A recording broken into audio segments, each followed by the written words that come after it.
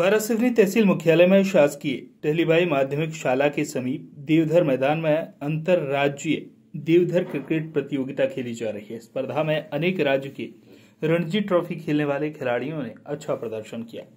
बालाघाट बारासिवनी में उनतीसवें वर्ष से आयोजित हो रहा देवधर प्रतियोगिता में लगातार पाँच वर्ष से पूर्व भारतीय क्रिकेटरों को बुलाया जा रहा है, जिससे क्षेत्र के युवाओं को क्रिकेट में बारीकियाँ पता चल रही हैं। 12 फरवरी को अंतर्राज्यीय देवधर क्रिकेट प्रतियोगिता के फाइनल मैच में पूर्व भारतीय क्रिकेट खिलाड़ी गौतम गंभीर का आगमन होते ही क्रिकेट प्रेमी सहित युवाओं में उत्साह देखने को मिला। अंतर्राज्यीय देवधर क्रिकेट प्रतियोगिता के पदाधिकारियों ने बताया कि ज़िले भर में बारह सिवनी तहसील ऐसी तहसील है जहाँ प्रतिवर्ष ज़िले में सबसे बड़ी क्रिकेट प्रतियोगिता आयोजित की जाती है। इस वर्ष क्रिकेट प्रतियोगिता खेली जा रही है। यहाँ सबसे पहली बार युवाओं को क्रिकेट के बारे में विस्तार से जानकारी देने वर्ष 2020 में पूर्व भारतीय क्रिकेटर संदीप पाटिल को बुलाया गया था। 2021 में स्पिन गेंदबाज हरभजन सिंह 2022 में रमन ओझा और इस बार बल्लेबाज गौतम गंभीर को आमंत्रित किया गया है, जो फाइनल मैच में मुख्य अतिथि रहे।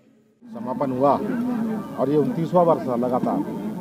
और मैं समझता हूँ पूरे मध्य प्रदेश में उनतीस वर्ष लगातार कोई ट्रॉफी चलना ये अपने आप में एक रिकॉर्ड है और हमने इस बार गौतम गंभीर जी को बुलाया था जो कि एक बड़े क्रिकेटर हैं और साथ में सांसद भी हैं।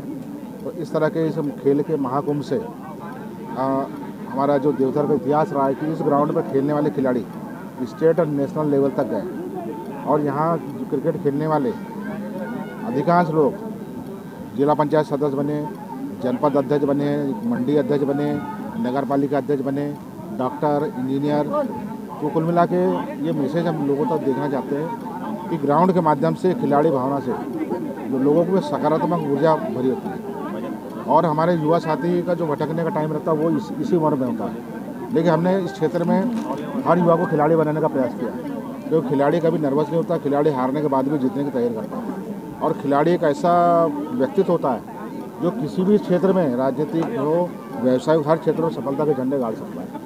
तो हमने युवाओं की ऊर्जा सकारात्मक दिशा में रहे, इसके लिए हमने खेल का उपयोग पूरे क्षेत्र में किया है गाँव गाँव में क्रिकेट होता है, और यही कारण है कि वारासुर क्षेत्र में इस देवधर के कारण हमारी राजनीति चली है, और राजनीति क्रिकेट का जो अनुभव होता है वो सारा अनुभव हमारी राजनीति में काम आ रहा है।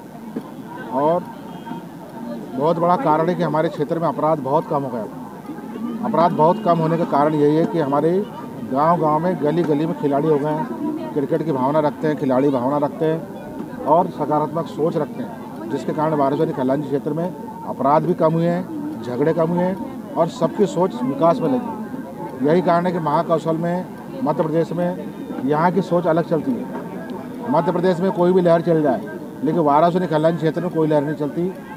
अलग अलग लहर आपने देखा होगा, पहले बहुत सारी लहर, लेकिन सारी लहरों का यहाँ कोई फ़र्क नहीं पड़ता, क्योंकि यहाँ की सोच ही अलग है हमारी और यही कारण है कि हमने राजनीति में भी हर तरफ़ सफलता प्राप्त की। मैं निर्दलीय चुनाव जीता नगर पालिका भी निर्दलीय है, जनपद भी निर्दलीय है। तो ये हमारी सकारात्मक सोच को जनता भी समर्थन करती है। और यहाँ जो अपार जनसमूह देखा आपने, लगभग तीस से पैंतीस हज़ार लोग थे। तो ये सोच बताती है क्रिकेट से राजनीति। मेरा मेरा जो समर्थन लोग करते हैं वो क्रिकेट से राजनीति को बालाघाट से वीरेंद्र श्रीवास की रिपोर्ट।